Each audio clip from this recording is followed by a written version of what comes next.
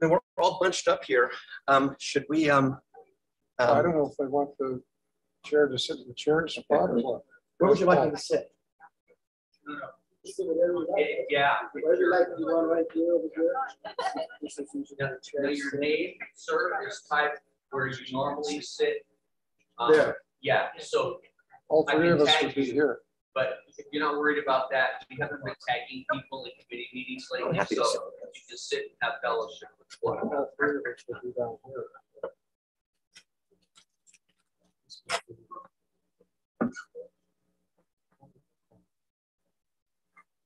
Um, What did you say? He's, he's he's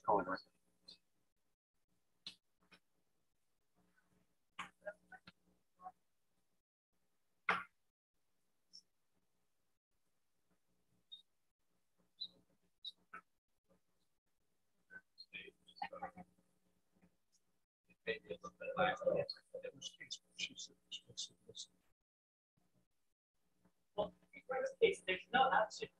So if you're sitting there sitting over here, I just want to make sure. yeah, no, we're, we're fine. I'll budge it.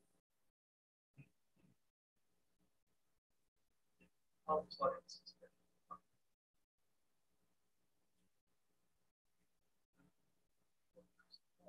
It's on the, it's on the, uh, console, yeah. So, um.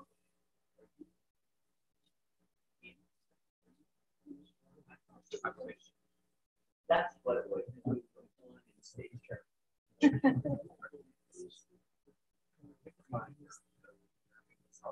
Right, that's the upper, yeah.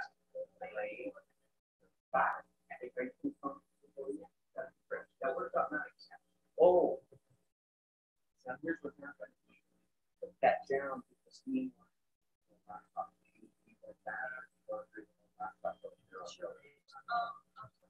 Is that okay? Will that work with you?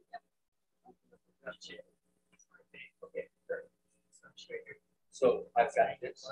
Wipe it down again. So.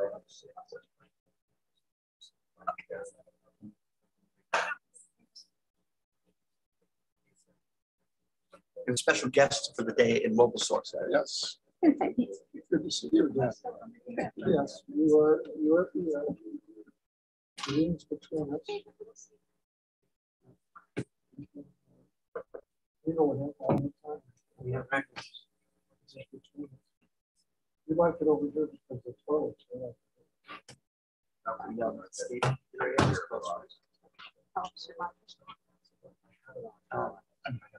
on this number.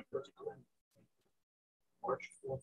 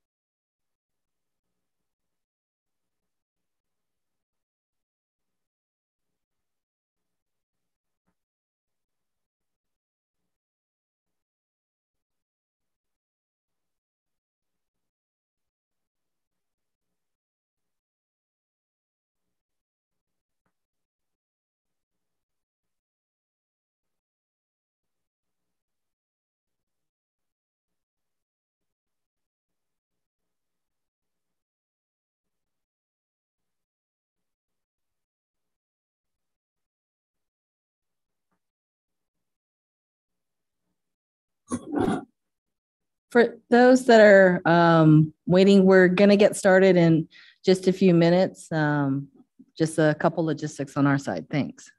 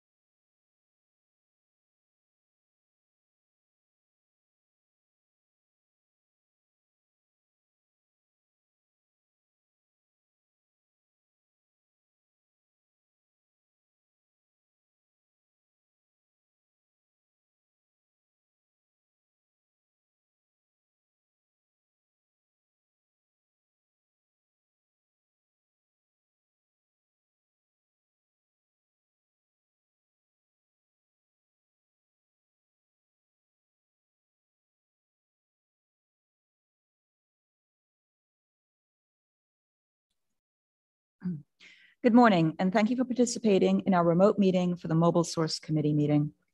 We have two formats for participation, the Zoom web application as well as teleconference.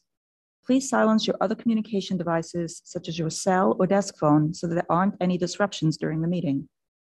During the meeting, all participants on Zoom, except for committee and South Coast AQMD staff, will be placed on mute by the host. That means that you will not be able to mute or unmute your lines manually. After each agenda item, the chair will announce public comments. For those on Zoom, if you would like to make public comment on the Zoom screen, please click on the raise hand button. If you're using Zoom on your smartphone, please tap the raise hand button on the bottom of the screen. For those calling in using the phone line only, you can dial star nine on your keypad to signal that you would like to comment. Your name will be called when it is your turn to comment, and the host will unmute your line automatically. Speakers may be limited to a total of three minutes for the entirety of the You're items on the you're on agenda and three minutes for the non-agenda items. A countdown timer will be displayed on the screen for each public comment. Please note you can hang up or leave a Zoom meeting at any time. Please adhere to the speaker time limit and treat others with courtesy, civility, and respect. Failure to do so can result in your mic being muted or you being dropped from the meeting. And with that, uh, Chair Kracov, I turn it back over to you. Thank you, Dr. Rees. Okay. Welcome all to the April 15th, 2002 meeting of the Mobile Source Committee at the South Coast Air Quality Management District. It's great to be back in the auditorium. I haven't been here since March of 2020. Uh, Had the opportunity to have one board meeting here, and then it's been all Zoom and hybrid since then. So it's nice to be back. Hope everyone is healthy and um, having a good Friday and hopefully a good Easter weekend and Passover as well. So we have the agenda in front of us. Uh, the agenda has 10 items today. Why don't we start with uh, a roll call? Supervisor Kuehl? Absent. Mayor McCallon? Here. Supervisor Perez? Here. Councilmember Raman? Absent. Mayor Rodriguez? Absent. Chair Kracov? Here. I So- believe Raman has just joined. Councilmember Raman?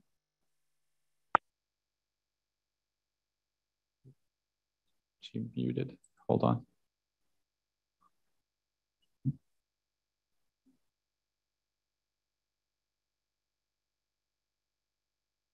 Councilmember Raman?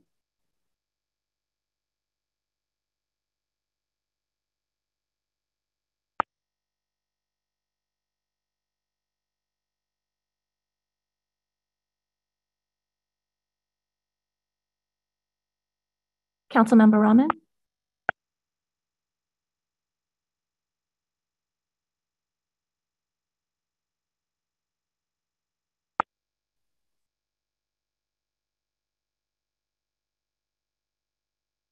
Should we proceed? I'm sure she's, she'll join us once the IT issues are worked through. That makes sense? Okay. So Supervisor Perez, hello, Mayor McCallon, Councilmember Raman. Uh, Let's go and then turn to the agenda. We have uh, three informational items today and three or four written reports, and then we'll close the meeting. The first item is item one. We have Jeremy from the Air Resources Board. And the topic is interpreting recent trends in ozone and its precursors in the South Coast Air Basin. Uh, Ground-based and satellite measurements over the past due to basin towards a chemical regime that will respond more favorably to NOx reductions over the next decade. So that's what the scientists are telling us. Jeremy is the chief of the modeling and meteorology branch at CARB and really uh, appreciate you being here today to um, participate in the meeting and educate us. Thank you. All right, thank you. Um, yeah, and I'm very happy to be here. Um, so let me start off. What I'd like to do today is present some of the work um, that we've been doing at CARB, looking at interpreting recent trends in ozone and its precursors in the South Coast, and the implications for our control strategies and attainment of the ozone standards moving forward. Uh, next slide. Okay, so let's start off by looking at ozone trends in the basin and what's motivated us to try and explain these trends. Uh, so going back to the mid 1970s, uh, we've seen a steady decline in both peak and hourly ozone, or sorry, peak hourly ozone shown in blue, um, as well as eight hour ozone shown in orange. Um, and what you can see is that the decline is relatively steady, uh, but there are periods of plateau due to meteorological influences. Um, but something happened around 2015 where ozone flattened and actually began to increase some. And so the question is what caused this to happen? Um, and that's part of what motivated this, this work. Uh, next slide. Okay, so from a, a high level perspective, we would say that the leveling off in ozone is due to a combination of meteorological influences as well as something happening with the ozone chemistry. Um, and I understand you've already heard presentations on the meteorological contribution, uh, so today I'm going to focus on the chemistry aspect, um, but acknowledging that meteorology can play an equal or greater role from, from year to year. Uh, next slide. Okay, so let's start off with just a reminder of how ozone is formed. Uh, so simply put, ozone is formed through reactions between NOx and VOCs in the presence of sunlight. Uh, next. But the chemistry is actually a lot more complicated than that. Um, and this complexity leads to a relationship between ozone and NOx uh, that's really not very intuitive. Uh, next slide. Or, yeah, there we go. Uh, so one way to think of this relationship is like being on one side of a mountain and needing to climb to the top of the mountain to get to the other side. Uh, so here we can think of ozone as elevation and NOx as the distance you have to travel, sort of from right to left. Uh, so if you're on the right-hand side of the mountain and you want to get to the left side, you have to start walking. And in doing so, you're going to increase your elevation uh, before getting to the top of the mountain, at which point your elevation will start to decrease as you continue walking. Uh, so the same relationship holds true for NOx emissions and ozone. Um, as you begin decreasing NOx emissions, you can actually see an increase in ozone uh, until you hit some peak, at which point ozone will begin to decline. Uh, next. So this is what the relationship between ozone and NOx emissions actually looks like. Um, and we'll come back to this figure in, in a slide or two. Okay, next. Okay, so now I'd like to talk about the ozone weekend effect and why it's important to our discussion today. Uh, so NOx emissions on the weekend are roughly 20 to 30% lower than on weekdays uh, because of reduced truck traffic. Uh, so fortunately for us, VOC emissions don't exhibit the same day of week dependence that NOx emissions do um, and they're relatively constant from week, weekday to weekend. Um, and what this means is that we can compare ozone on weekends to ozone on weekdays to better understand how ozone will respond to changes in NOx emissions. Uh, next. Okay, so let's come back to the, the curve showing the relationship between ozone and NOx. So if we're on the right side of this curve in that blue shaded area, um, then as we decrease NOx on the weekend, we move up the curve and ozone increases. Next. So if we're near the top of the curve, um, where we transition sort of from the blue to the orange colors, then as NOx is reduced on the weekend, we expect to see little or no change in ozone. Next. Uh, so now if we're on the left side of the curve, then as NOx emissions are reduced on the weekend, we would see ozone decreasing as we move down the curve. Um, so keep this in mind as we walk through the next series of slides when we look at how the weekend effect has, has changed over time and how this response to changes in NOx on the weekend has changed. Okay, next. All right, so what I'm showing here is how the ratio of weekend to weekday ozone has changed over time for specific sites, uh, where the blue colors represent higher ozone on weekends, um, or the right side of that curve, and the orange colors represent lower ozone on the weekends or the left side of that curve. And so what we see is that in the early to mid 2000s, the entire South Coast air basin was shades of blue. Um, ozone was higher on the weekends uh, when NOx emissions were lower. And over the next five years, most of the basin was still shades of blue, uh, but some sites had begun to shift into sort of those light orange colors. So they were, they were transitioning from the right side of that curve to the left side of the curve. Um, and not much changed from 2005 to 2014. Uh, but by the 2015 to 2019 time period, more recently, uh, more of the basin has shown shades of orange and the blue shades were getting lighter. Uh, and that's indicative of sort of nearing the peak of that curve. Okay, next slide. Say, um, oh, yes. Well, keep going, keep going. Okay, so now when, when we shift into the year 2020, what we see is the entire basin is showing shades of orange. Um, so the question is what happened? Um, and simply put, it's our response to the pandemic, uh, which led to a roughly 20 to 25% decrease in NOx emissions between April and, and July um, of 2020. So VOC emission changes are more uncertain over that time period, um, but studies are, are, suggest that they may have decreased overall, but um, not nearly to the to the extent that NOx did. And so what that means is that the shift in the weekend effect was primarily driven by the reduction in NOx emissions. Uh, next. So now if we jump to 2021, uh, where things are mostly back to pre-pandemic activity, uh, we revert back to something that looks very similar to pre-2020, um, though with more of the region showing shades of orange and, and some darker shades.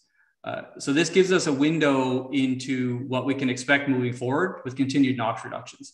Um, and specifically that the, the plateauing of ozone that we've experienced in recent years um, is likely to, to stop and we'll begin to actually see a drop um, in ozone again. Uh, next. Okay, so I don't want to go into all the details on this slide. It gets a lot more complicated than what we just walked through with the week, the weekend weekday analysis. Um, but I do think it's important to note that we have also looked at trends in other indicators of ozone chemistry, uh, such as VOC NOx ratios, and that those trends are fully consistent with the weekend weekday analysis that I just showed. Um, so that gives us a lot more confidence in, in the, the weekend weekday analysis. Okay, next slide. Okay, so I've talked about NOx and ozone, um, but what about VOCs? And so the question would be, how does this curve change if VOCs change? Because up till now, we were assuming VOCs didn't change when we're thinking about the ozone chemistry. Um, so one thing I want to point out first um, that's different between VOC and NOx emissions is that unlike NOx emissions, VOCs have a large natural source uh, from plants that can be as great or greater than all of our anthropogenic sources combined. Um, so while we can control NOx to near zero emissions, um, even if we get rid of all the anthropogenic VOC emissions, uh, there would still be a, a, a, huge natural background of VOCs from plants um, that would react with NOx emissions to form ozone. Uh, next. Okay, so reducing VOCs has the effect of um, essentially shrinking this curve um, as illustrated on the left at showing curves at, at different VOC levels. Um, but we can only shrink that curve so much before we bump up against that natural background of VOCs. Um, and it turns out that the natural VOC background from plants um, is actually large enough that even if you get rid of all anthropogenic VOC emissions, there's still going to be enough VOCs from plants to participate in ozone chemistry um, that you will produce levels of ozone that exceed the ozone standards, uh, provided you have sufficient NOx emissions. Okay, next slide. Okay, so just to, to summarize, um, the ongoing NOx reductions are shifting the South Coast towards ozone chemistry uh, that will be more responsive to continued NOx reductions. Uh, the 20 to 25% reduction in NOx during the pandemic was sufficient to reverse the weekend effect. Um, and current emission estimates suggest that a similar shift is projected to occur in roughly the mid 2020s, um, mid to late 2020, so sometime this decade. Uh, VOC reductions can be helpful in the near term, um, but will have a more limited effect in the long term. Um, and then I also want to say that, that we will continue to collaborate uh, closely with South Coast Air Quality Management District, um, as well as outside researchers to monitor these trends, um, as well as the evolving science. Um, and then I've provided a, a, link at the bottom here to a manuscript that we recently submitted for publication, um, if anyone would like more detailed information on, on what I just walked through. Uh, so next slide. Um, and then I do want to acknowledge uh, everyone involved in the work across a number of divisions at CARB. Uh, these folks here are really did all the heavy lifting on this work and, and deserve all the credit. Um, and with that, I will just thank you for uh, having me come speak today, and I'll answer any questions you have. Uh, thank you so much, Dr. Avise, and uh, your whole team for putting together uh, this presentation and, and sharing it with us. Um, interesting uh, data uh, and conclusions. I'll open it up to the committee for some questions, and then we can take public comment and then wrap up. any committee members? I know uh, Mayor McCallon, this is a topic that interested you. Please. Uh, thank you very much, uh, Mr. Chair. Uh, I have a couple of questions, and comments. I'm, I'm not sure if the speaker uh, will be will answer them or, or our staff, but uh, I have a question. You showed that mountain thing, and that brought to mind the a question about altitude. Does altitude increase the concentration of ozone? Um, it's hard to say if it increases. Um, it certainly has an effect on the chemistry um, because as you're higher up in, in the atmosphere, you're going to be exposed to higher energy. Um, you can think of it as higher energy, you know, from the sun. So it can affect things, but it, it's really a combination of the sun and the emissions. So it's, it's I bring it up because, for example, the Redlands uh, station is at 1358 feet, mm-hmm. while San Bernardino is at 1050, and they are fairly close to each other. But Redlands has higher levels of ozone. And the same can be applied to Azusa, which is at 610 feet, while Glendora is at 715 feet. They're only five miles apart, but they have significant higher ozone levels. At, uh, so I'm, even those small changes, there seems to be a lot of difference in the ozone uh, readings. Yeah, I mean, some of that could be, and and I don't know if if folks at South Coast want to chime in or not, but some of that could be due to um, yeah changes in in the intensity of the sun based on elevation. Some of it also is just going to be um, on what what local emission sources there are, um, and so even though they're close together, if if the the if one site has you know large VOC or NOx sources, that can affect things as well. On the weekend effect, uh, does uh, uh, on the weekend you would expect that vehicles would have a lot uh, a lot more cold starts of vehicles, and does that uh, uh, contribute to the weekend effect? Um, we believe the weekend effect is primarily driven by fewer trucks on the road. Um, if there are more cold starts, that certainly could contribute, but I think it's really the the the reduced truck activity um, that's driving most of it. One, uh, uh, another question I have is, uh, you know, a major concern, 2020, uh, we, we've said that there's 20, 25% reduction in NOx. And uh, we've uh, had the worst air quality since 2003. For example, uh, in 2020, a total of 22 stations with the fourth highest eight-hour readings exceeded the 0.084 threshold with 11 of those stations in Los Angeles and Orange County. This was the largest number of stations since 2000. Why would the basin have the worst air quality in at least 20 years? Uh, it is counterintuitive that 20% drop in NOx would result in the, in the most uh, fourth highest eight hour readings over the uh, 0.084 threshold in 20 years. And several areas in Orange and Los Angeles counties having the highest one hour reading in 15 to 22 years. Yeah, so I think there's probably a couple things um, going on. One is um, that if you actually look at the the meteorology during that time period, we had some of the warmest conditions in early spring that we've had um, on record. I think, well, at least in in recent years. And so we saw we actually saw very high numbers or very high levels of ozone in the spring because of that. So there was a huge component to meteorology that was driving a lot of that. Um, from a chemistry standpoint, if if it takes an additional 20 to 25% to get to the top of that curve, you could actually see increases in ozone. Um, so that's not inconsistent with, with what we know about the chemistry. But I do think there was a very strong meteorological component um, in 2020. And uh, that's something I keep hearing. It's all meteorology, but uh, you know, that's sort of to me like saying, okay, there's a black box out there. I don't understand what's happening, but we'll say it's meteorology. That's what's well, bother, bothering me is the fact that we see these increases when NOx is going down, and uh, uh, it we sort of point to meteorology, and I I don't understand. Well, that's why I think it's a combination of of the meteorology and the chemistry. Um, and the two those two are actually intertwined. Um, so one thing I mentioned was the the natural source of VOC emissions. Um, when we're in when we're sort of on the right side of that curve, um, ozone is affected quite a bit by small changes in in uh, can be in VOCs. Um, and if you have really warm conditions, the VO, the natural VOC emissions from plants increases significantly. So there's a very strong correlation between temperature and those, those emissions. So if you had warmer periods, you are going to see higher emissions and more chemistry, more ozone produced.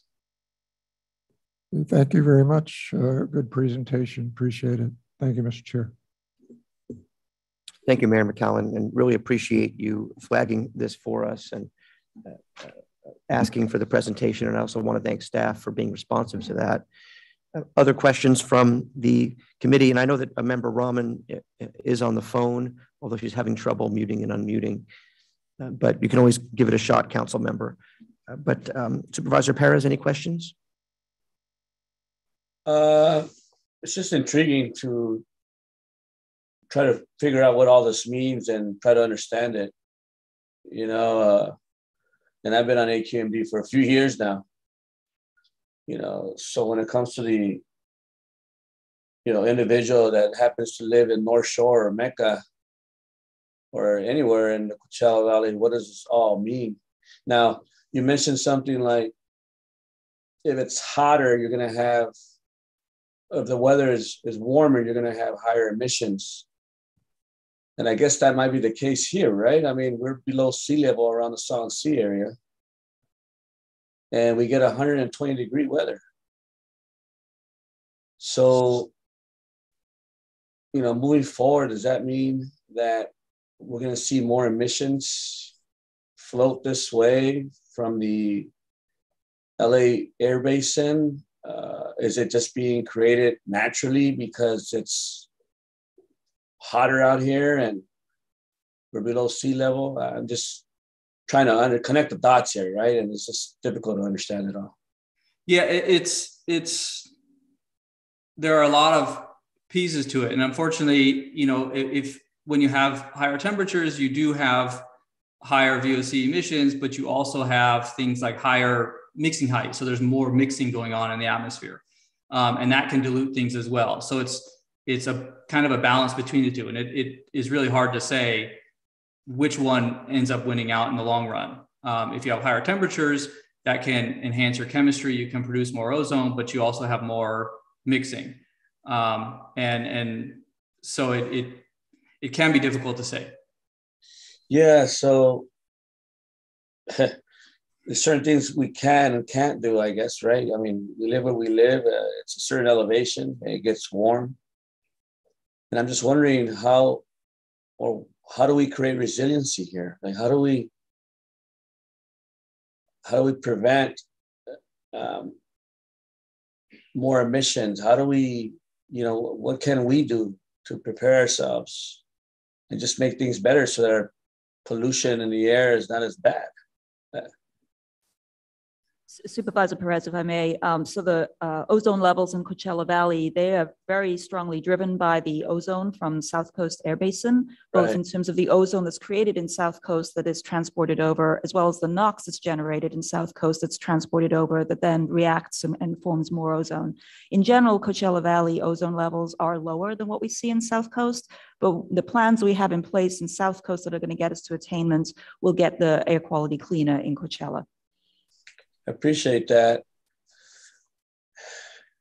It's just uh, interesting and, and not common language that you hear on an ongoing basis, right? And so uh, as we as we move forward, and I know you're thinking about this, and we've had discussions on this in the past. Um, how do we deliver the message, and and then you know what changes do people need to do in their everyday lives uh, that could potentially be helpful? How do we create resiliency in our communities? How do we fight back against climate change?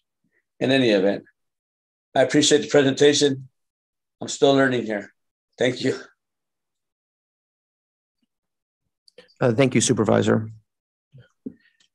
Really uh, brings it home. Uh, uh, Councilmember Raman, if you want to try to chime in.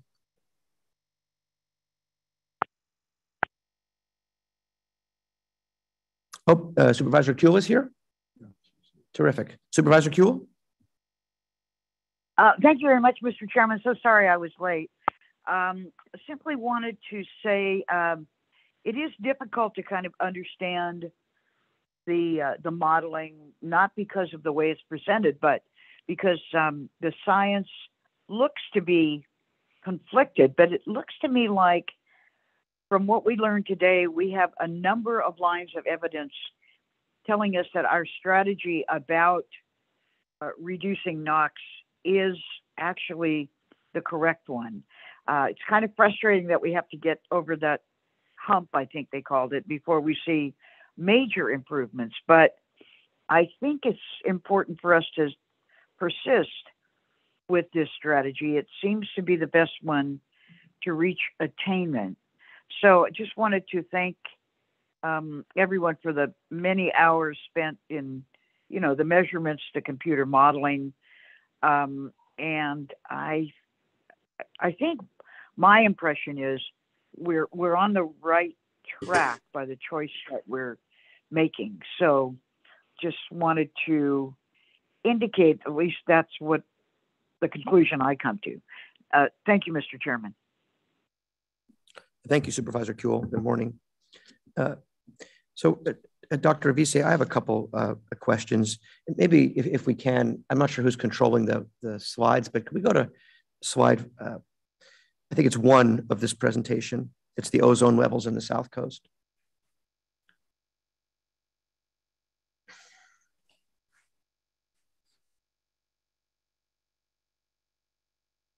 And again, thank you for joining us, Dr. Avise. Next time you're down in the South Coast, we owe you a, a lunch or a good dinner or something. Uh, so I- I'm trying also to wrap my hands or my head maybe around this um, uh, question of uh, you know that that mountain concept that that you talked about, whereby you can reduce NOx, uh, uh, but actually the ozone might increase a little while until you're over that mountain.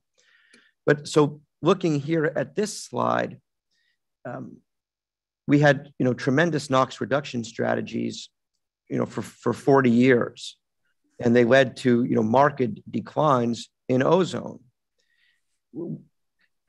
So it, it appears looking at this that we didn't hit that mountain or have to overcome that mountain you know during this time period why did we hit that mountain in in 2015 is there something about uh, that when you get real low that the, the lower hanging fruit are, or harder? Why why did we just seem to face this mountain in the last 10 years as opposed to the 40 years prior? Does that question make sense? Um yeah i think so i guess the way i would answer it is so um, over the last 30 40 years we've seen this large reduction in nox but we've also seen reductions in vocs at the same time. And so it's the combination of those two that's that's sort of driving this. Um, and it's only until recently that we've driven sort of nox low enough that we're now actually starting to get to that that peak um, where where things are slowing down um, which I think is what's driving that sort of the, the leveling off and even some slight increases. The, you know, a combination of what's happening with the chemistry as well as the meteorology. But it's taken this long to actually drive NOx that low um, to where we're actually nearing that peak. Um, whereas previously we were we were just living on the far right side of that curve in that blue shaded area.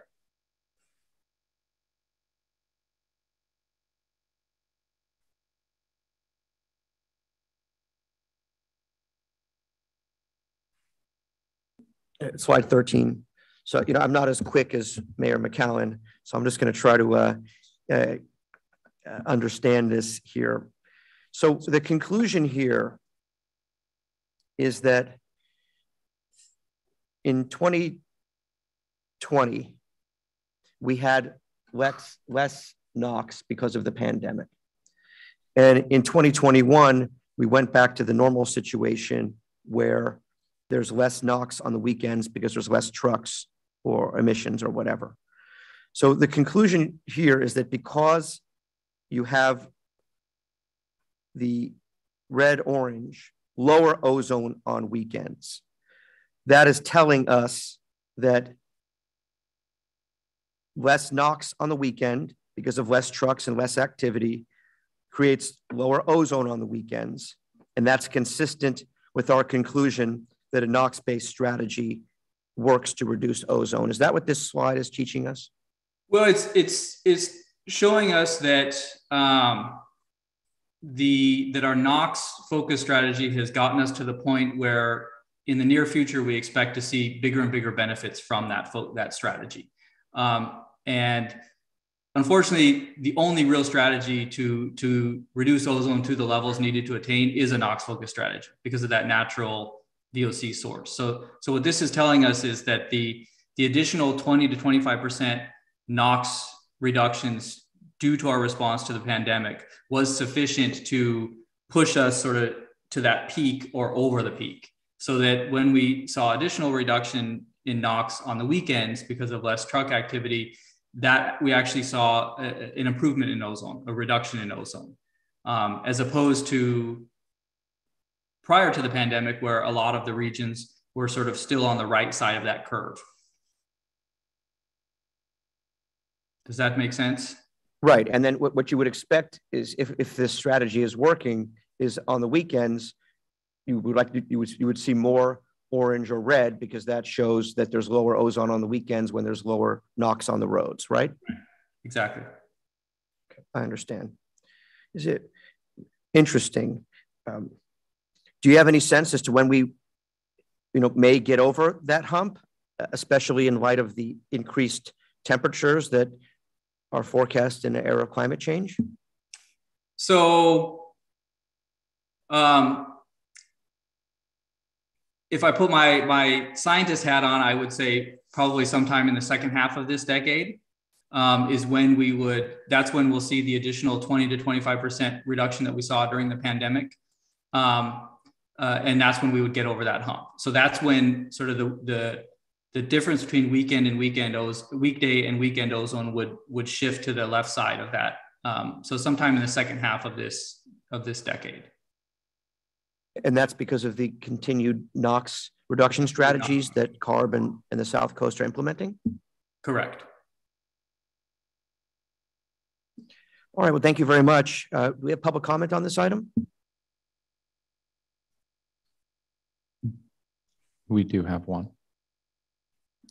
Uh, Please go ahead.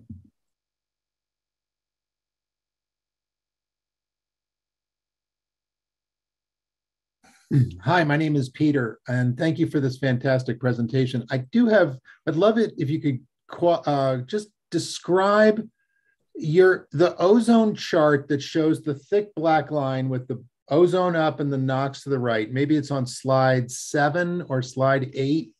Can you just describe to me what is the thick line? And I'm just thinking maybe I'm reading this backwards. I'm seeing increases in ozone are leading to a decrease in the line, but that doesn't isn't doesn't jive with what you said. And so perhaps I'm just not understanding the chart right. Is, is this the, the one with the curve and the blue and orange shades? Yeah. So is blue better? Because most of the isopleths I see from the south coast, I want to get to blue and I want to go away from red. Right. So so this is um, this is similar to an isopleth um, that you've seen before, and but those isopleths are they they show the relationship between VOCs, NOx, and ozone all on one plot. And what I'm showing here is assuming we do not change VOCs. So just looking at the relationship between ozone and NOx. So And this so- isn't an XY chart, essentially. The black line is ozone. Is that what that is? Yes, the, you can think of the black line as as ozone. Yeah. Okay, and then Okay, so Peter, there Peter, really isn't a Peter. y-axis. We're holding. Can you hold the VOC commenter, please? constant. So Peter, this, this is public comment. Um, Why don't you get your questions out? I think they're well taken. And um, then we can, um, through the chair, direct the questions to Dr. Avise. So why don't you get your comment out? I, I, I- I'm with you. I understand where you're going with this and Good. I, I I will follow up, but why don't you finish your I can follow please? up with Dr. Avise directly if that's better for you. Um, Thank you very much. Other public comment? No others. All right, so going back to this, let's look at slide eight, if we can pull it up.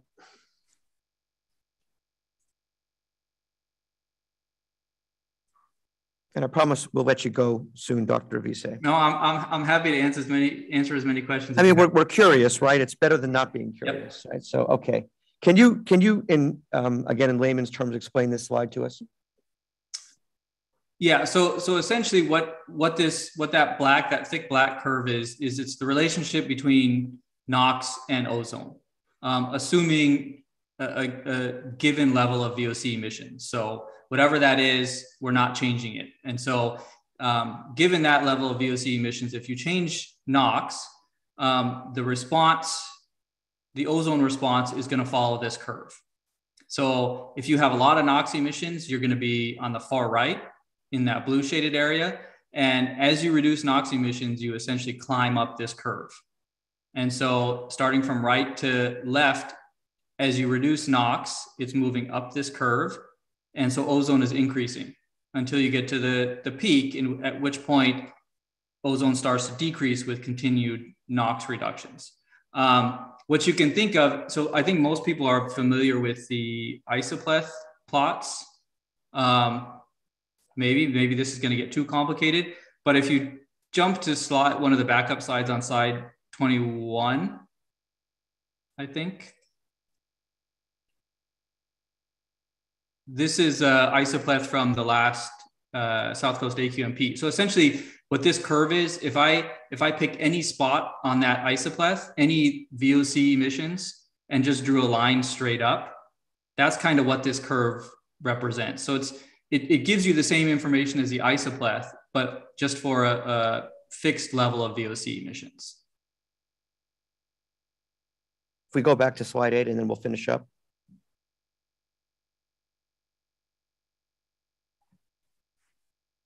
So again, I- do understand what you're saying is, is it- when you go from a lot of NOx to left to, to less NOx, you, you get this weird thing where the ozone increases until you meet that peak and then it goes down suddenly. Uh, But again, just explain to us, I think just to reiterate, why did we not see that for the 30 or 40 years um, prior? Uh, because we were very, very, very far to the right. So we were just slowly moving up this curve, but NOx emissions were so high that we were probably off this chart potentially. Um, but the reason we saw a decrease is because a de- decrease in ozone over that time is because you had concurrent reductions in VOC emissions. And so that mountain was shrinking at the same time. So the VOCs play a very important role, but your conclusion is there's not a whole lot we can do to move the needle on those at this point? The, the VOC plays an important role um, in, in the near term. So if you reduced VOCs tomorrow, you would see a, a, a reduction in ozone. Um, the problem with focusing on VOCs too much is the level of NOx reductions you need to attain the standards are so great that um, once you get to that point, changing VOCs doesn't really matter. Mr. Chair. Yeah. This organization, over the last two decades, maybe even three, did a significant amount of rulemaking in reducing VOCs, solvents from paints and coatings and things like that. And it was a recognition of the strategy that Dr. Avise is talking about, where, if I recall, almost 30 years ago, if you would have asked the leadership at South Coast, they would have said it's both a NOx and a VOC strategy. But as the VOC strategy was addressed through a lot of that rulemaking effort, the realization that Dr. Avise is talking about is that we have to have that NOx focus. That's why you're seeing the focus from where we are today. And it's all the challenges that Dr. Avise talked about the climate, increased energy, increased temperatures, transport, all of those issues are affecting us today. But we are now at a point where that hump is becoming significant. But as again, Dr. Avise said, the scale is off, so we don't see how far right we were, and we don't see how far we've come on this scale, but we see it on some of the other graphs that we've seen. So I just want to point out that we have undertaken a significant VOC strategy, and we've shifted that strategy as we've been successful in reducing those emissions and as we are successful in reducing NOx emissions. Thank you, Executive Officer Nastri, and uh, thank you, uh, Dr. Avise. And I guess we'll have you back in the second half of this decade, uh, hopefully to be, you know, popping the, the champagne as, as we get over that, um, that peak. Uh, really do appreciate staff and, and CARB for coming and, and, and Mayor McCallon for, um, you know, insisting that we try to get to the bottom of this um, issue. And um, we may come back to you for additional questions. Dr. Avise, as we have issues with um, uh, our AQMP and, and other things if, if we need that technical assistance, you know, uh, of course, uh, working with our staff as well. Larry, anything further on this one? Uh, I know it's an important topic to you. No, I appreciate uh, the information uh, and uh, it'll take a while to absorb all of this and as we move forward. And I, I appreciate you coming and giving us this information. Thank you. Thank you again, Dr. Avise and your team. Thank you. And perhaps uh, Peter's going to follow up with you offline. Okay, colleagues, uh, we're going to move on now to item two, update on proposed Rule 2306, indirect source rule for new intermodal facilities. Staff will provide a status update on the rulemaking efforts for uh, rule uh, proposed Rule 2306. I think we have Dr. Shen, Planning and, and Rules Manager. Uh, good morning, uh, committee chair and also committee members. My name is Elaine Shen. I'm planning and rules manager. Uh, next slide, please. So I'm going to begin my presentation today with some background information. So rail yard ISR, similar to the ports ISR and also similar to the adapted warehouse ISR. It began as one of the uh, facility-based mobile source measure uh, in our 2016 AQMP. And so this measure was designed to assist with the implementation of the state implementation plan strategy to reduce NOx and also PM through the further deployment of mobile source clean technologies, whether they're on rail or off rail. And back in May 2018, the board directed staff to initiate the indirect source rulemaking to implement this specific control strategy or MOB 02. Next slide, please. And so there are really two main goals for us to look at uh, the proposed rule 2023-06. Uh, so on the one hand, we know regionally, we need to reduce emissions by a significant amount from the rail yard sources in order to assist with the meeting with the air quality standards both uh, proposed, uh, implemented by the state and also the federal government. And the rail yard ISR, it needs to work in conjunction with all the existing and also the upcoming federal and state regula regulations and programs, as well as uh, local programs, in order to fit the puzzle pieces together to reach the end goal of regional air quality attainment. But on the other hand, equally importantly, we also need to reduce the localized air quality impacts to the communities surrounding these new rail yards. And very importantly, many of these communities, they are already disproportionately impacted by all the existing environmental burdens. Next slide, please. And so in 2020, staff provided an update to the board where we lay out some preliminary concept and approach in order to look at emission reduction opportunities from the existing rail yards. And why did we look at the existing rail yards at the time only? That was because back in 2020, there were not really any newly proposed rail yards for us to consider at that time. But in 2021, last year, BNSF, which is one of the two large class one railroads operating within our district. They proposed two new intermodal rail yards that will be upcoming in our region.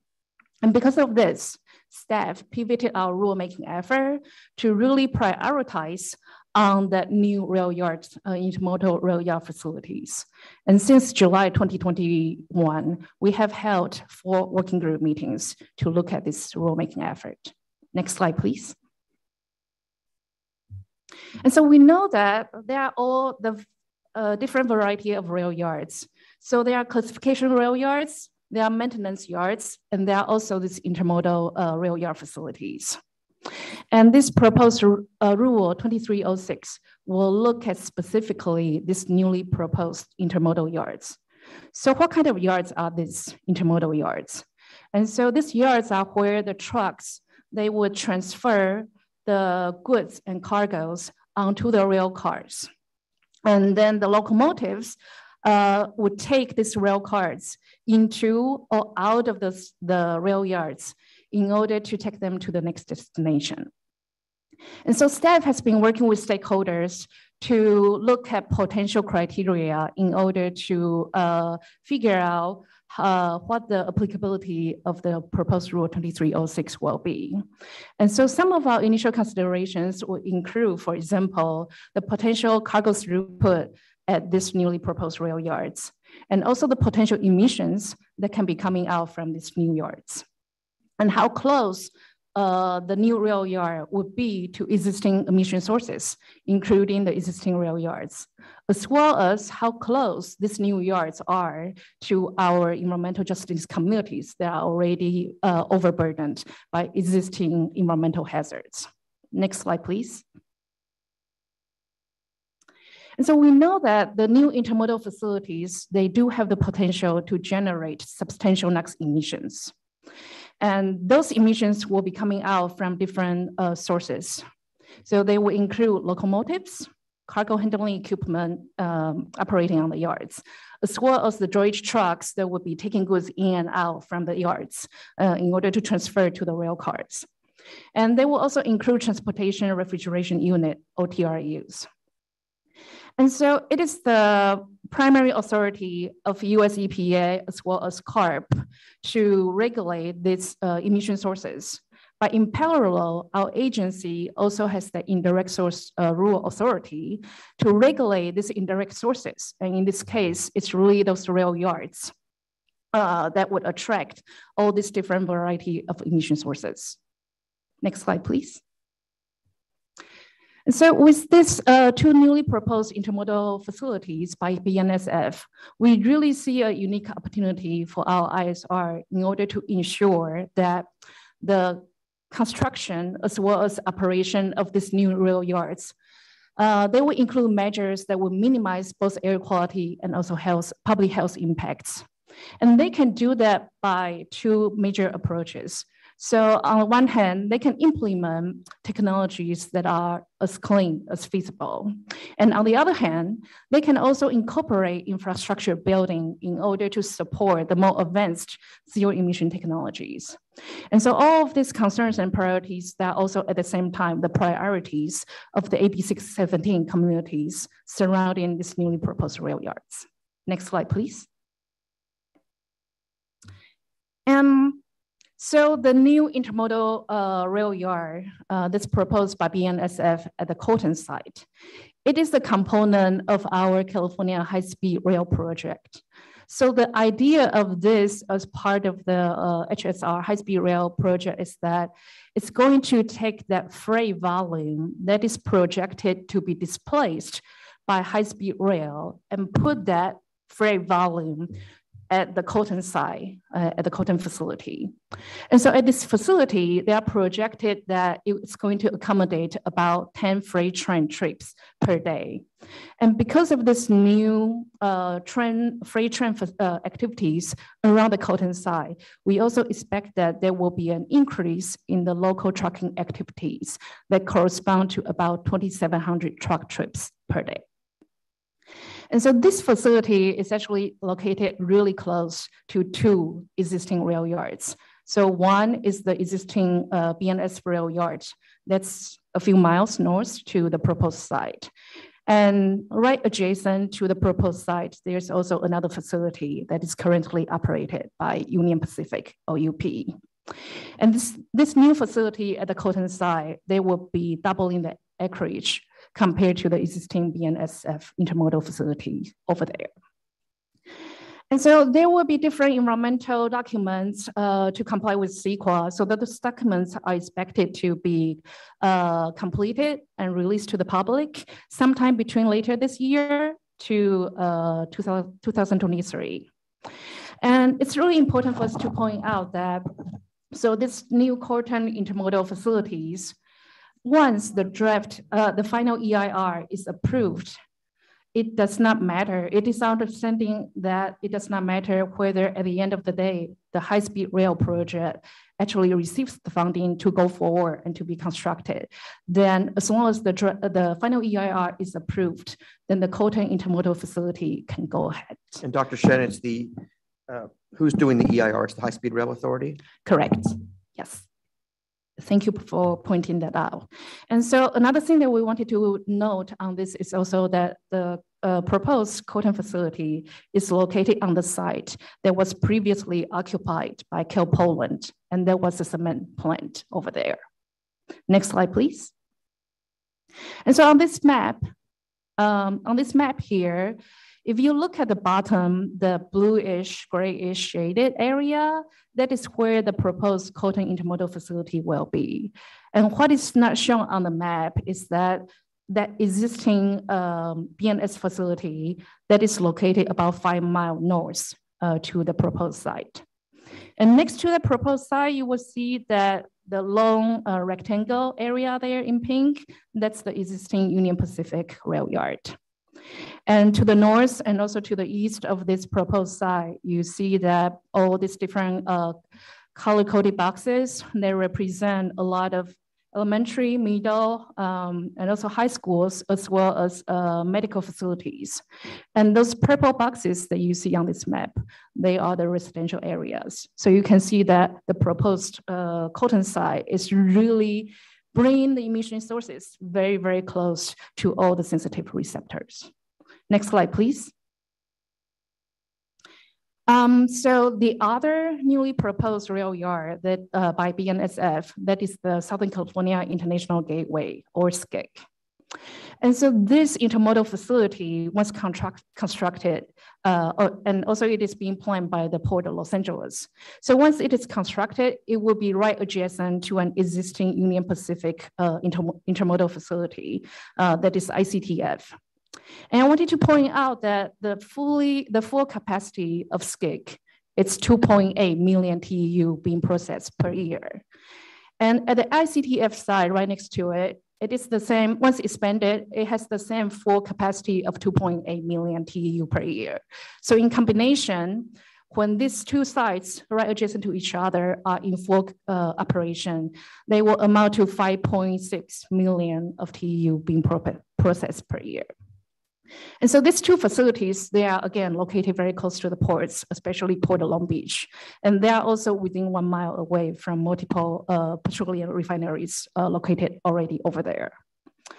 And so based on the revised draft EIR that was released last year, so it is estimated that because of this uh, new facility, we're going to see an, uh, an increase to the local community close to 3,000 train trips per year and associated with that, about 1 million round trip, uh, round trip uh, by the drayage trucks in and out of the facility. And another thing that I want to point out is also that the SCIG project is not new. It was originally proposed in 2013. Um, so the project was litigated by our agency along with others. And so our major concern is really that the air quality impacts that will be coming from the newly proposed SCIG yard, um, it does not have uh, sufficient mitigation measures in order to lessen the air quality impacts that might be associated with this new yard. Next slide, please. Uh, yep. And so similarly on this map, you will see that again, the bluish grayish shady area, that is where the proposed gig facility will be. And right to the north of that, that's where the existing Union Pacific Rail Yard ICTF is currently locate, located. And to the left of these two new intermodal, uh, the two intermodal facilities, you will see that approximately three large refineries located right next to the two rail yards. And to the right of ICTF and also SCIG, again, you see multiple elementary, middle, and high schools uh, with our children attending schools there. And at the bottom of that, you will also see the Century Villages at Cabrillo.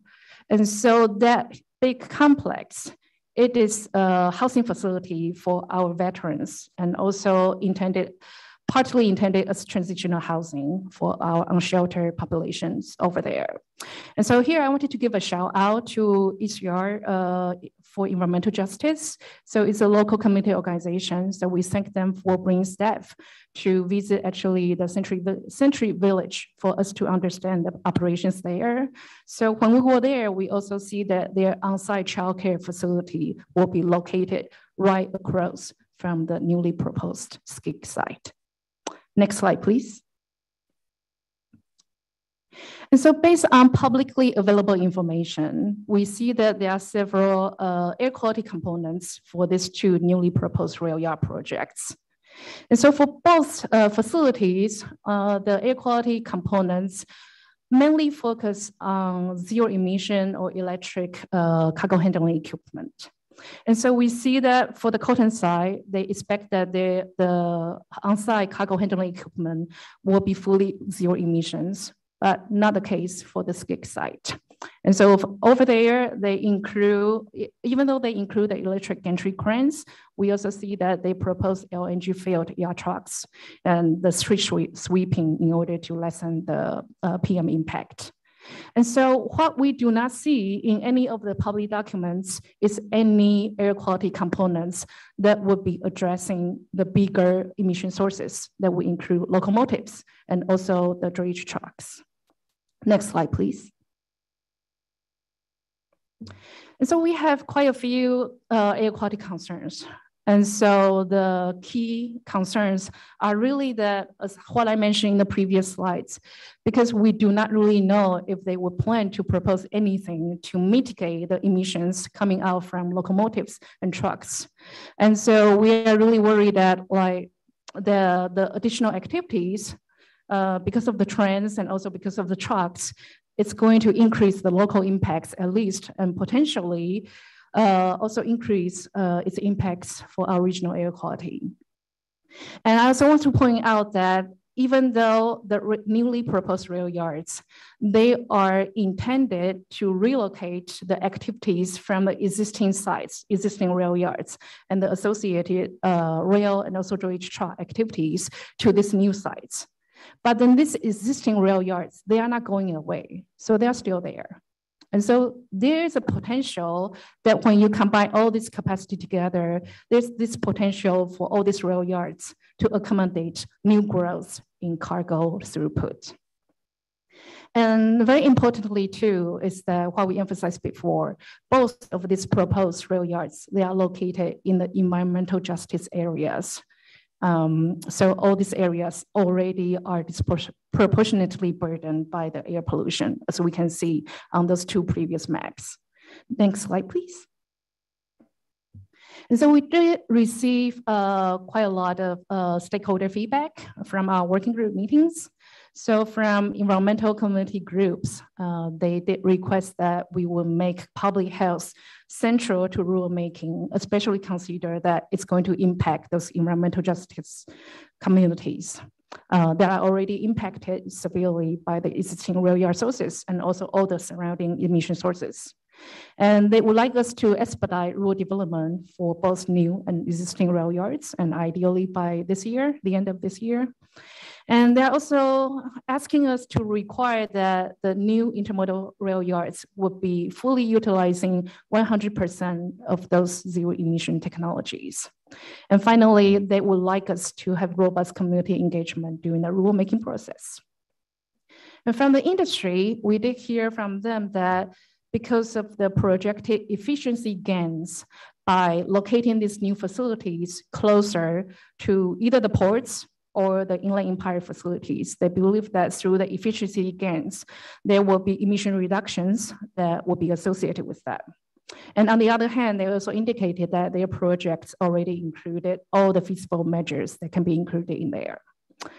And finally, we also have technology developers and OEMs coming to our working group meetings to share with us their knowledge and uh, suggestions.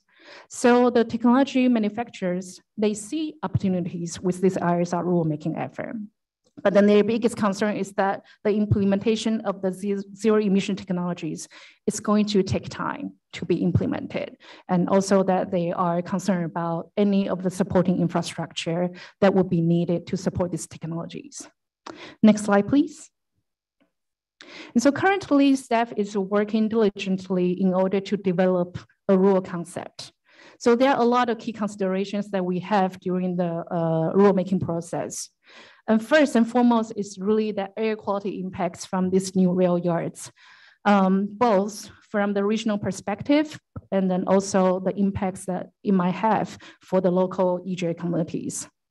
And in the meantime, we need to take into account all the state and federal regulations and also all, all the authorities, whether there are any limitations or like different ways that we can, we can look at this um, emission reduction projects in conjunction with all these other existing upcoming regulations and programs that are in place there. And of course, it will be very important to consider the availability and also the feasibility of cleaner, including zero emission technologies. And finally, we need to understand the business model of this industry, who owns, who operates all these different emission sources, and potentially which entities might have um, influence on the decisions in equipment deployment, and also the infrastructure building on site as well. Next slide, please. And so staff is going to continue our effort to develop this rule concept, and we plan to bring it back at the next meeting to share it with the committee members. And we'll continue to visit these new rail yard sites and also the communities surrounding these rail yards so we've been to the communities uh, close to the SCIG site. And next month, we're also expecting that we will be visiting the communities surrounding the Colton site. And we also want to thank the railroads because a few years ago, they also took us to tour their existing rail yards to help us better understand the on-site operations. And we're going to continue with working group meetings, uh, continue to engage stakeholders and conducting other public engagement activities. And we'll be reporting back uh, in about two months to the Mobile Source Committee. And that concludes my presentation. Thank you. Uh, thank you, Dr. Shen. If there's any uh, clarifying questions, we can open that up or comments to the um, members of, of the committee. Mr. Chair. Mayor McCallon. Thank you very much. Uh, could we go back to slide eight, please?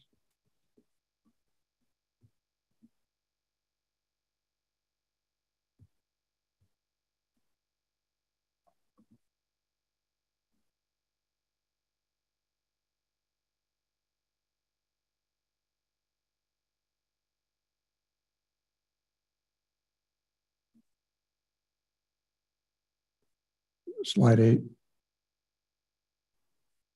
Yeah, that's it. That's it. Good. Thank you.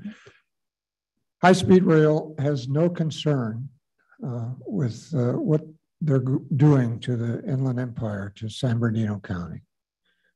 Uh, the idea of moving, you know, this uh, BNSF yard out to this uh, already impacted uh, EJ communities in the in the area is just insanity. First of all, notice that little red thing down there, Colton, you know, the intermodal can be built regardless of whether high-speed rail built at all. Once they complete this environmental document, BNSF can proceed to build this intermodal facility. And there's no mitigation included in the high speed by the high speed rail for all of the congestion that's going to be caused by these 2,700 truck trips a day uh, out of that facility. Our uh, SBCTA, our Transportation Authority, has been uh, putting input into them. The, the fact that uh, the impacts this is going to have are, are uh, infrastructure in that area will not be able to handle all of those trucks, regardless, you know, of the uh, air pollution impacts it's going to have. The congestion is just going to be horrendous because there is no mitigation included in their high-speed rail uh, impact uh, uh report, environmental impact for doing anything about providing uh, the appropriate infrastructure in and out of the facility and in that area. So uh, we are very concerned that the uh, environmental impact report is going to be approved and BNSF will be able to, to build that facility regardless of whether high-speed rail ever comes to this area. And it's going to be severe impact on our, our county. And uh, we've uh, been letting everyone know that. And I would hope that AQMD would also weigh in on the, on the congestion issue and the lack of mitigation. Thank you. Thank you, uh, Mayor McCallon, for uh, pointing out the issues and impacts to your county. Other comments from members of the panel? Questions? Okay, why don't we open this up for public comment, please?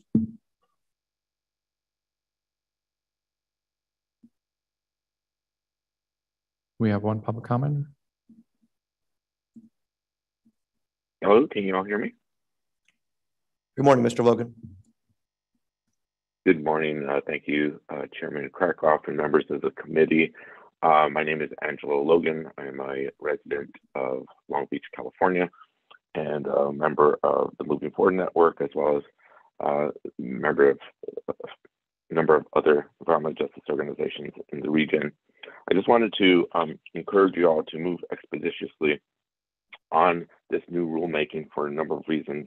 Um, one, for new rail yards, it's it, it's vitally important, but I also think that we need to include expanded rail yards as well for many of the reasons that staff presentation explained in terms of the opportunity and advancing zero emission technology. Uh, it's important that we include in this rulemaking 100% uh, zero emission operation in all new and expanded facilities. Um, it's really important in the extent that, to the extent that in the design process of the um, new facilities, that there's opportunity to ensure that the facility is 100% op, uh, zero emissions and that we look at not just the individual pieces of equipment, but also the operations. I also think it's important, for example, with the Skig um, rail yard, that other facilities that are uh, associated or that would service that facility be included in rulemaking, such as the Sheila uh, maintenance facility. Although it's not as part of the Skig itself, it will be servicing Skig locomotives and should be included, are all facilities that are servicing that new facility should be included in the rulemaking. Um, I also want to um, say that the rulemaking should be ha should happen expeditiously so that the requirements of the rule are included in the environmental review of these particular projects, whether it's CEQA or NEPA or otherwise. And then lastly, I want to encourage y'all and, and, and urge y'all to move expeditiously, not just on existing, I'm sorry, not just new and expanded, but also existing um, rail yards in the basin. As you all know, the cancer risk is extremely high um, near these rail yards and in overburdened communities. Um, our communities, our families, our neighbors' health depend on rulemaking like this. And we know that South Coast and many other folks have been working on this issue for over 20 years. The time is now to take action. And I want to encourage y'all and thank you for moving expeditiously. Thank you. Thank you, Mr. Logan. I see Supervisor Kuehl has her hand up, but why don't we go to the other commenter first, if that's okay, Supervisor uh, Chris Chavez? Yes, uh, thank you, Mr. Chair. Uh, this is Chris Chavez, Deputy Policy Director at Coalition for Clean Air, as well as a Long Beach resident as well. Uh, I, I want to echo many of the comments that Angelo Logan just said and urge the district to move expeditiously as it relates to the passage of a rail yard ISR. Uh, already, as you know, has been said many, many times, uh, the South Coast Air District remains out of attainment. The South Coast Air Quality Management District uh, remains out of attainment of national and state air quality standards. And diesel particulate matter is the number one air toxic contaminant in our uh, local area as well as the state as a whole. Uh, so certainly would encourage and, and support the district moving as quickly as possible as it relates to this uh, rule, as well as really help you know designing the, this rule along with the ports indirect source rule and other rules and regulations to really put you know, the district on a viable path towards attainment of those air quality standards. Uh, I, I, also agree uh, with the comment about uh, making sure that we're including uh, existing rail yards as well, as that's where the pain is being currently felt uh, by folks who live in communities. I know East LA, uh, Southeast LA are particularly impacted by rail yards. The ports area is particularly impacted by rail yards. Uh, and it's really important to make sure uh, that we're addressing the current problem as well as future problems going forward. Uh, one thing I, I would also uh, certainly hope to see is uh, you know making sure that you continue to engage with the community, uh, both environmental and environmental justice groups going forward. Uh, I appreciate and, and really want to commend the staff for reaching out uh, early and having starting some of the initial conversations uh, with those stakeholders in this process and really reaching out to folks about this. I'd also encourage uh, inclusion and involvement with the AB 617 community steering committees, uh, which are uh, many of which are impacted by rail yards. And ultimately, um, given the AB 617 community emission reduction plans, uh, the rail yards, in my opinion, are very are inconsistent with those plans. When you have a rail yard being put in the uh, San Bernardino Muscoy area, where you have a rail yard being put in West Long Beach, uh, Carson, Wilmington area. Uh, I, I, will be. I live just downwind of where the SCIG project would be, and I'm very concerned about what the impacts are going to be on my my personal health as well as the health of my local community. So certainly want to support the district in its efforts, support the district in creating a strong rule, and doing all it can to reduce both smog forming pollution, but also toxic carcinogenic diesel particulate matter as well. Thank you for your time. Uh, thank you, Mr. Chavez. Uh, we have to uh, clear this room pretty soon for stationary source. So let's close the queue and we'll finish up with these public comments and keep moving through the agenda. Next is uh, Jesse Parks.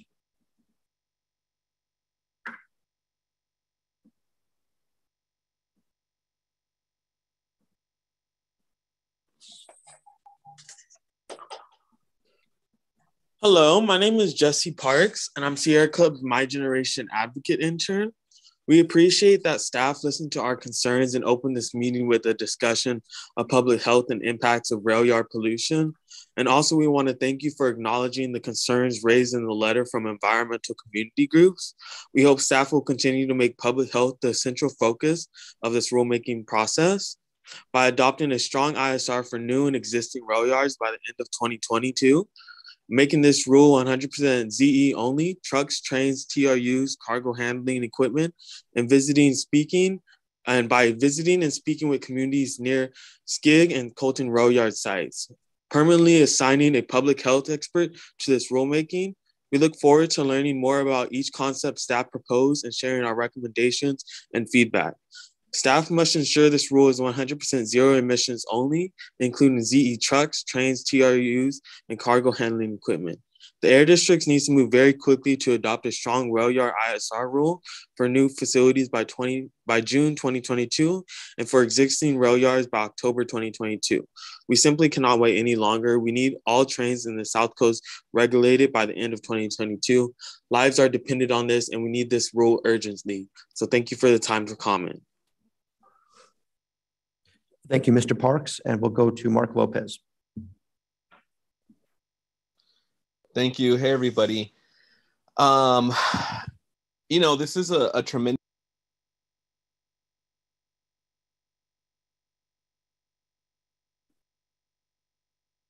Mark, you might have muted yourself. Sorry. Yeah, I think I did that.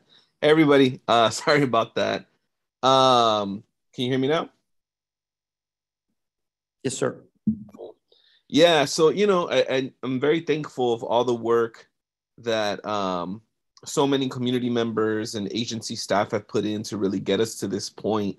Um, and I really want to invite you all to to take on uh, the sense of urgency that we feel on the ground. Uh, just yesterday, I opened my front door to invite some some fresh spring air into my home, and was immediately met with emissions from a train. Um, that's that's my everyday reality, right? Every day in our communities, we're reminded that there's so much more that needs to be done, and so um, every day that we don't advance these rules, that's another day of of us getting slapped in the face with these emissions, with our health being impacted every day, right? And so I just want to make sure to um, extend that reminder right? Extend that that we continue to be here continue to participate um, continue to, to offer everything we can to this process um, and appreciate the staff who are advancing along with us. Um, and just really want to, to impress on you all the, the urgency of the matter. These are our lives. This is this is our health right? These are our children. These are our families. These are our communities that we're talking about here. It's not just a, a stat it's it's an everyday lived reality. Thank you. Uh, thank you, Mr. Lopez. We'll open this back up to members of the committee. Supervisor Kuehl.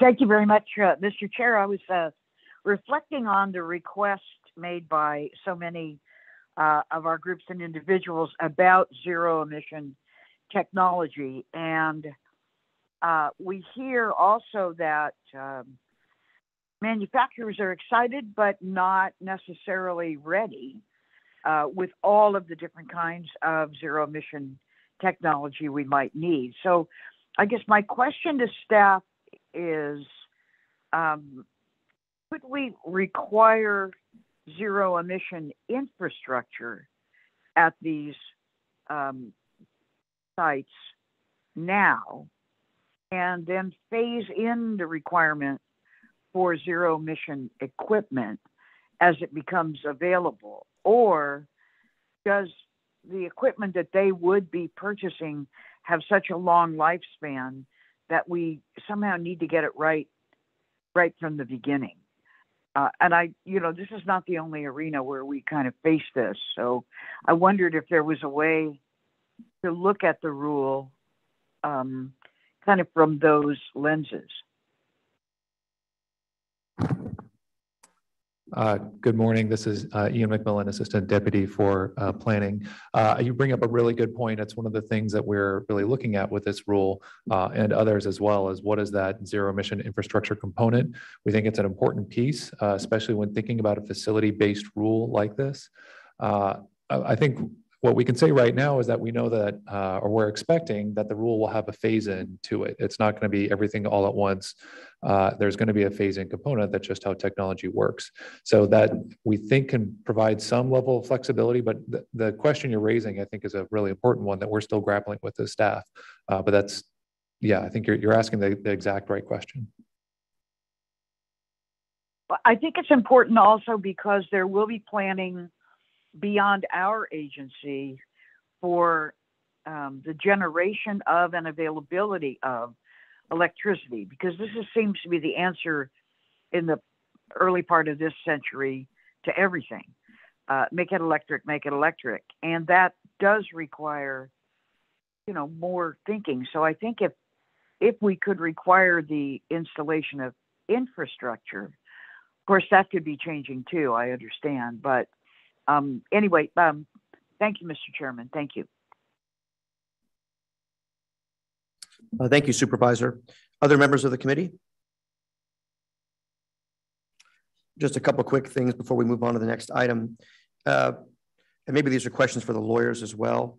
Uh, The Colton project, it, it looks here, um, maybe for you, Dr. Shen, but uh, the same slide that Mayor McCallon identified, slide eight, it says a record of decision.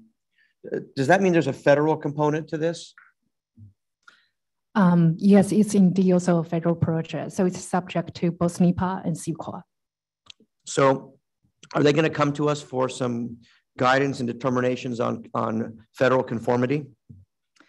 Um, I believe there's already this process going on, especially with our CEQA teams. This is a very key place for the South Coast to engage in this process is the conformity determination. Um, you know, these should not be handed out like hamburgers at McDonald's. This is a very big project, especially if it's basically an expansion, taking one rail yard and making it two. Uh, that conformity determination should be looked at with a fine tooth comb. Another Mr. Chair? Yeah.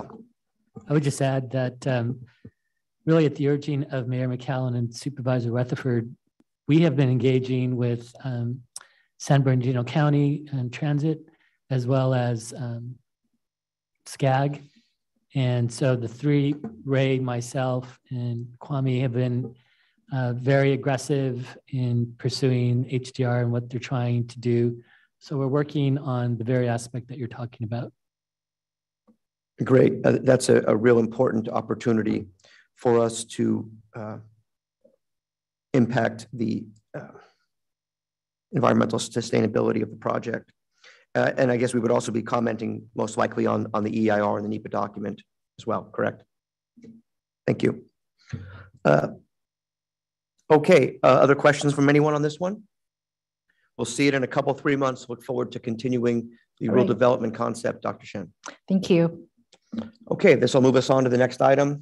I know um, we're going to get kicked out here by uh, stationary source soon, but since I've got Larry here, maybe they'll treat us nicely.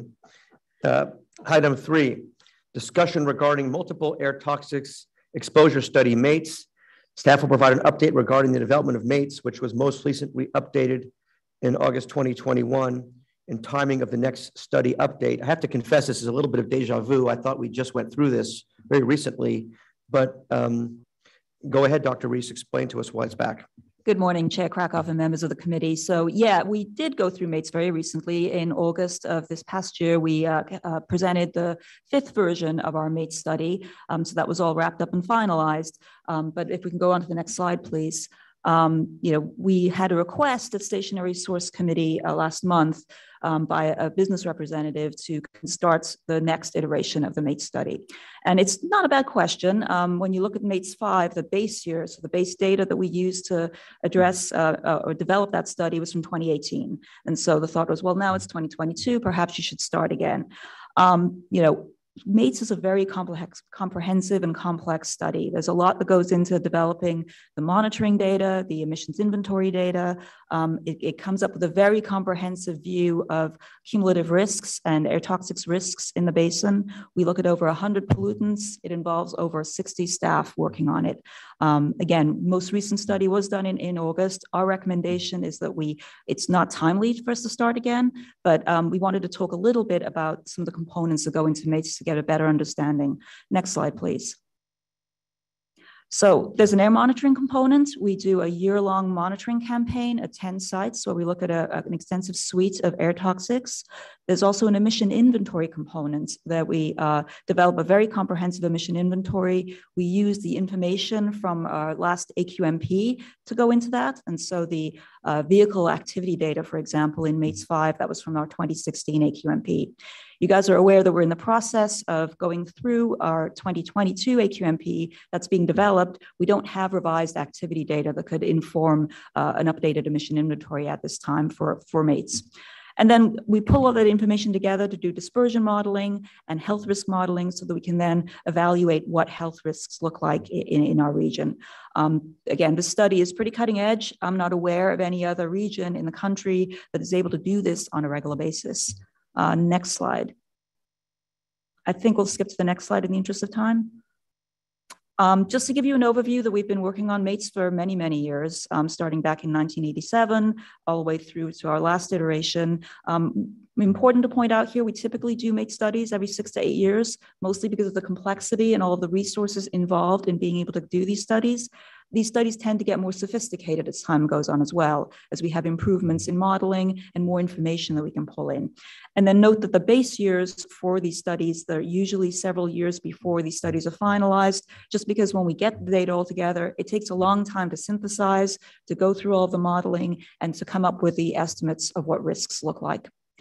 Um, I think we can skip the next slide. When we, uh, so this just gives a map of where all of the monitors are. Skip again. I'll skip again. So just, you know, in summary, why this takes a multiple year process, it takes a long time for us to collect the monitoring data that informs the study, go through all the work for the emissions inventory, and then go through the air dispersion modeling. Um, uh, you know, the, um, and again, the data that we use that would inform the emission inventory, that activity data, we're still in the process of developing our 2022 AQMP. So at this point, we wouldn't have any new information that could inform this. Next slide. So in short, our recommendation is that we would start working on MATES uh, 6 after developing the 2022 AQMP. That's partly so that we have more data that can better inform that process, as well as understanding that we have a lot of other work going on right now, namely the development of the 2022 AQMP, as well as some indirect source rules and transitioning out of reclaim. And so it's tough for staff to have the resources to be able to start at this point. Uh, that concludes my presentation. I'm happy to answer any questions. Any questions from the uh, committee? Yeah, Mr. Chair. Mayor? Thank you very much. Uh, thank you for the presentation. I realize that this is a very complex uh, process and takes a lot of staff time, but you know, technology moves very quickly. And uh, it would be uh, great if we could uh, see results faster. Right now, you know, six to eight years with the way that technology moves is is you know, pretty slow. And I know it, it's complex and it takes a lot of resources, but if there's some way that we can speed up the process, uh, it would be a lot better in getting results out sooner. Thank you, Mayor. Other comments from the panel? Uh, Supervisor Kuehl. Uh, I'm sorry, I meant to lower my hand. Thank you. Uh, thank you, Supervisor.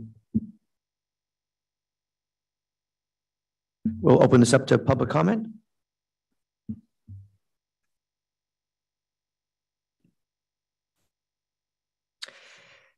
Good morning, board members. My name is Sarah Wiltfong, and I'm calling on behalf of Los Angeles County Business Federation, also known as BizFed. First, I just want to thank staff for coming back to committee and providing this important update on the MADE study, which we requested at the last stationary source committee. And just really quickly, after reviewing the staff presentation, we just have a couple of observations.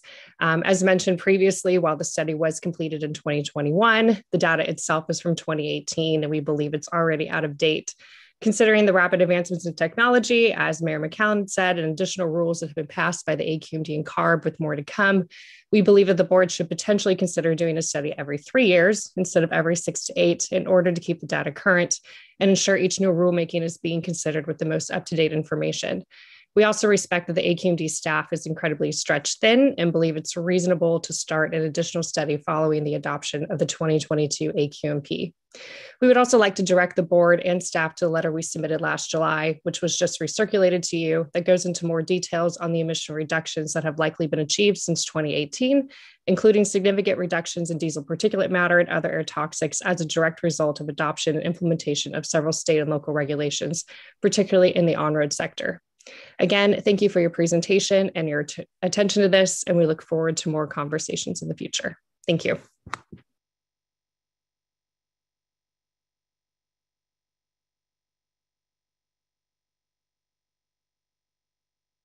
Thank you, Ms. Fong. Uh, and uh, uh, I haven't seen that letter. I don't know if um, that she's referring to, but we will definitely take a, a close look at it.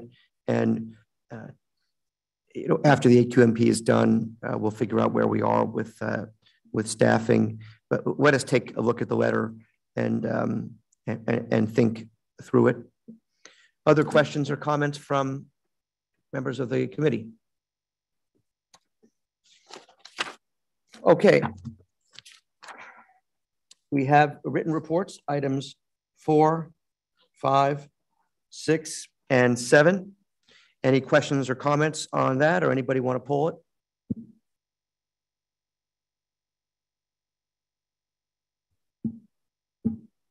No motions required on those. Item eight, other business, anything at this time? Item nine, general public comment. Is there anyone in the queue? No raised hands. Okay, the next meeting date is Friday, May 20th, 2022 at 9 a.m. Most likely will be a, a hybrid meeting at that time. Anything further we need to discuss before we adjourn, anybody? Mr. Executive Officer? Not at this time. Thank you, Mr. Chair. Mayor? Okay, thank you all for participating. Again, have a wonderful holiday weekend for everyone. Be safe. Thank you. Meeting adjourned.